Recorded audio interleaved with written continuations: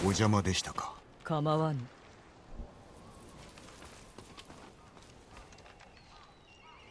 お祈りを？我が先祖にな。これからする所業の許しを請うておった。ご先祖は何と？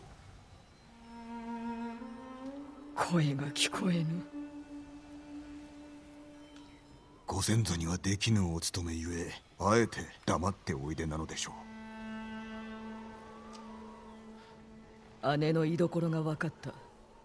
菊池家の古い砦だ。うご出立を？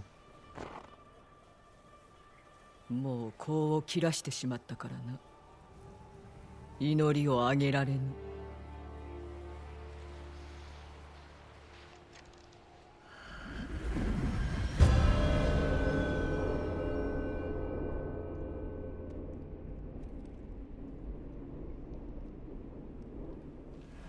菊池の館はこっちだ。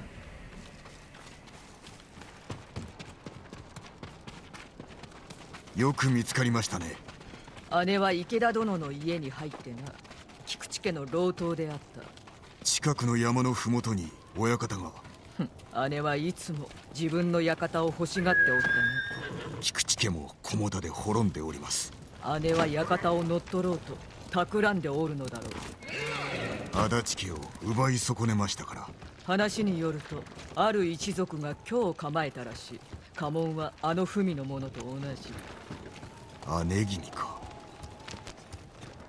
今は館を流民の仮住まいにしておるそうだ。故郷を失う辛さがわかると申して。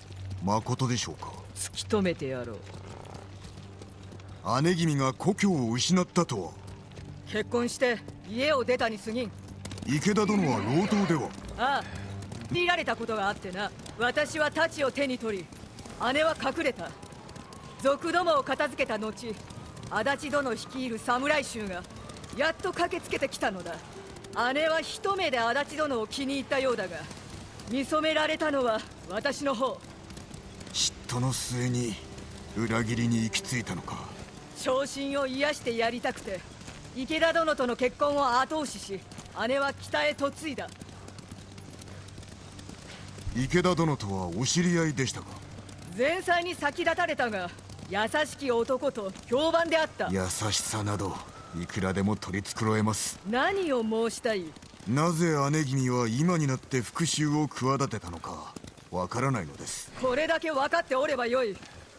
姉は我が一族を殺し今日その報いを受ける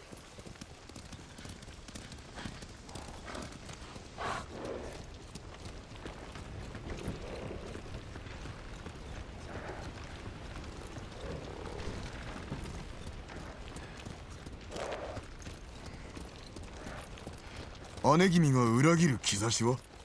近しい間ではなかったがお互いを思い合っておった。公の場でも姉を見かければ挨拶を交わしていたぞ。まさかこれほど憎まれておるとも知らずにな。あの日は親方にいらっしゃったのですね。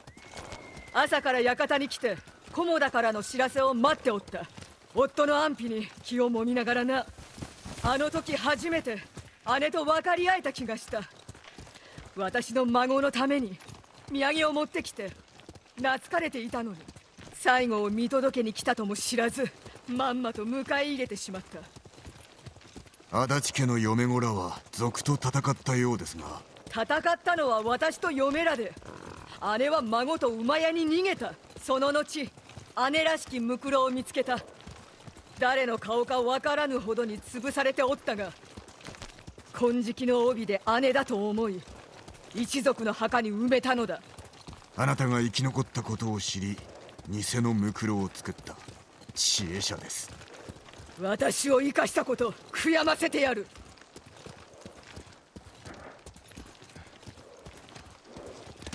よし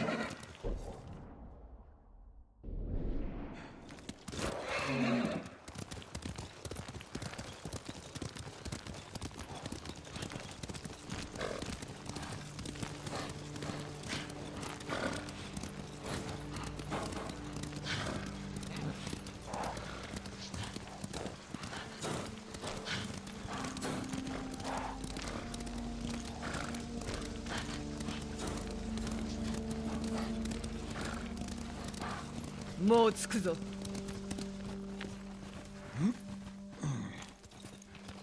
馬を降りろ。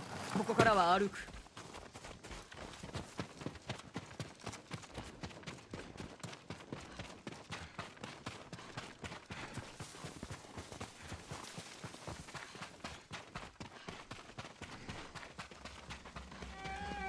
万平がおるな。ご用心をしくありません。花はどこにおる？政子が来た！殺せ！切り捨てろ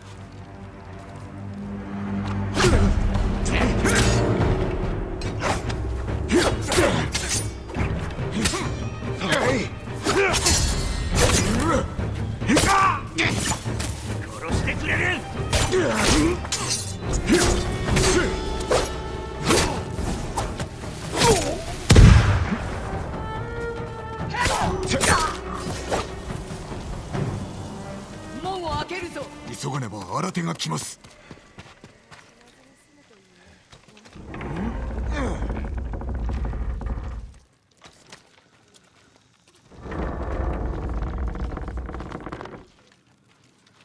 民をかくまっておった。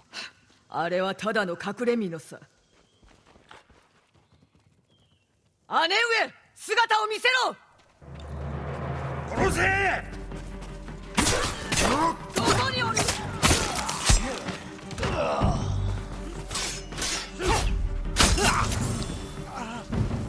援軍です。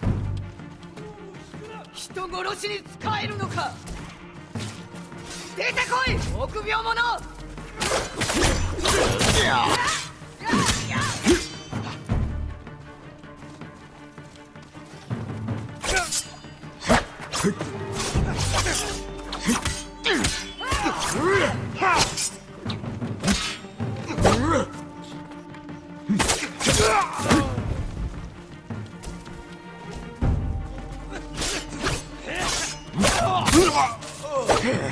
道場まで押し通れ次から次へと。どうでもいい。皆殺しだ。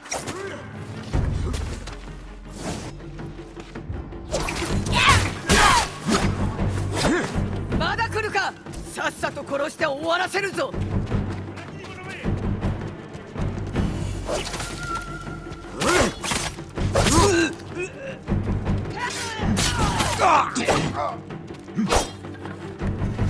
お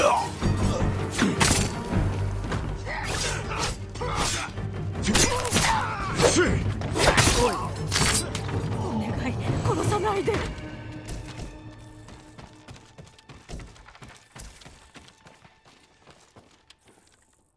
花はどこだ？山の上の館です。妹が会いに来たと伝えろ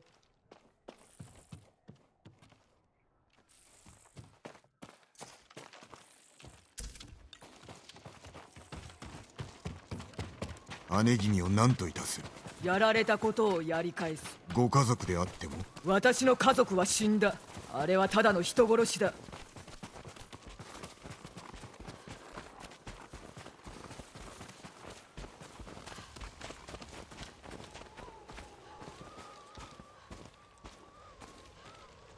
姉上さあ出てこい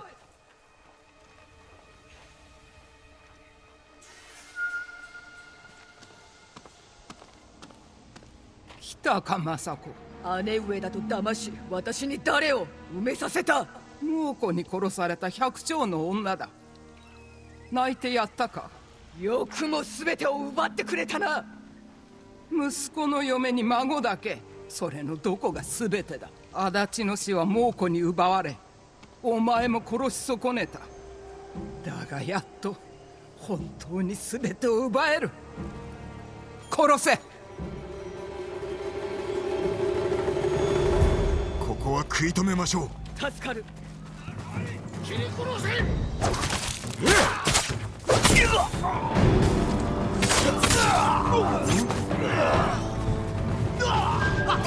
政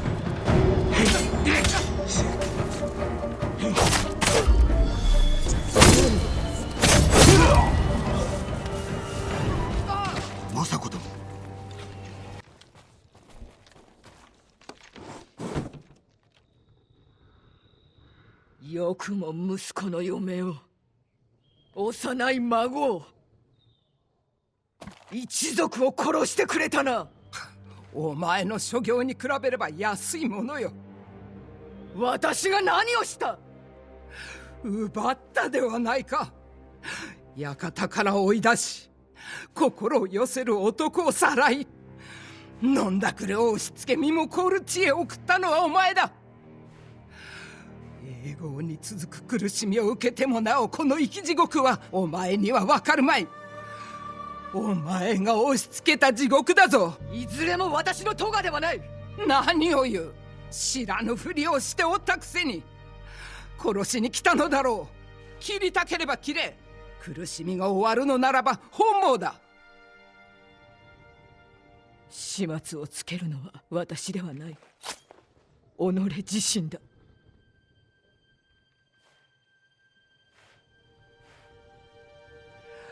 お前も地獄を味わえ。あ。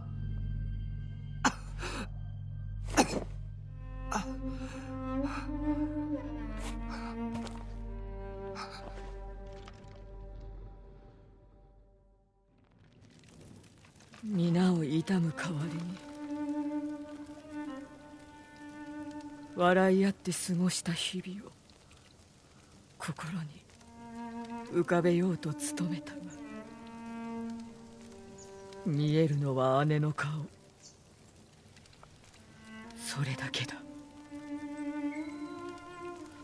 これが生き地獄なのか。いえ。敵を討ったではありませんか。ご一族のためその命を懸けてもう安らぎを求める時です。この道は安らぎには通じぬ。ではどこへ？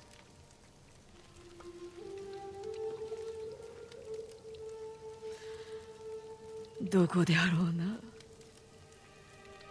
このまま歩みを進めればわかるであろそれは修羅の道です。うもう遅い。だがお前が呼ぶなら手を貸すぞ